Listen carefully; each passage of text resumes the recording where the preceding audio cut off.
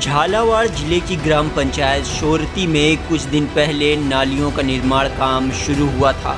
एक नाले पर रास्ते के लिए पुलिया का निर्माण भी करवाया गया था, लेकिन काम पूरा भी नहीं हुआ और पुलिया पहले ही टूटकर क्षतिग्रस्त हो गई।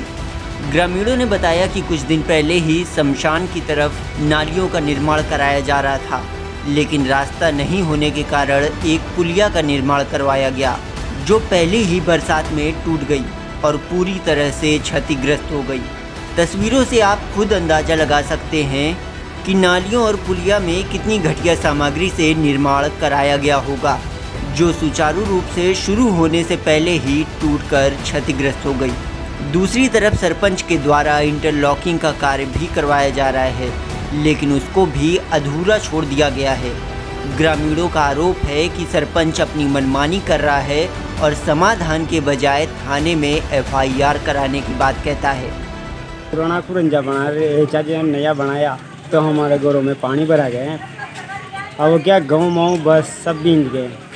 सब भेज गए। फिर आपने इसके बारे में सरपंच को अवगत करवाया सरपंच को बोले थे उन्होंने बोले कि मेरे नाम की रिपोर्ट डाल दो। एफ़ आई की बोला है? हाँ एफ़ आई पर कुरंजा पहले से इंटरलॉक था। उसको उधेड़ कर वापस नवीनीकरण कर रहे हैं। पानी वहाँ बंसी लाल मेरोटा के घर के वहाँ से पंचायत भवन की तरफ़ पानी देकर जा जा रहा था। उसको इन्होंने यहाँ से रोक कर वापस इधर निकालने की कोशिश की। उसमें तीन चार मकानों में पानी भराया। एक तरफ़ से बीच में से उन्होंने इंटरलॉकिंग किया तो वह खुरंजा से जा रहा था, बीच में कुछ नीचे ऊंचाई के चक्कर में कुछ सरपंच साहब ने पटकाया या और लोगों ने पटकाया, बीच में मल्टिया पटका दिया, जो पानी वहीं कमाई रुक गया और घरों में भरा गया मेरे मकान में पानी भरा गया और गेहूँ वेहूँ वगैरह भींच गया। सरपंच साहब ने बोला कि मेरे खिलाफ F I F I R दर्ज करा दो। सरपंच ने बोला कि एफ़ आई आर दर्ज करवा सरपंच चुनाव से पहले तो बड़े बड़े दावे आम जनता से कर लिए जाते हैं। लेकिन जब सरपंच का पद मिल जाता है तब सारे दावे खोखले नज़र आते हैं। झालावाड़ से मेवाड़ टाइम्स टीवी के लिए सद्दाम खान की रिपोर्ट।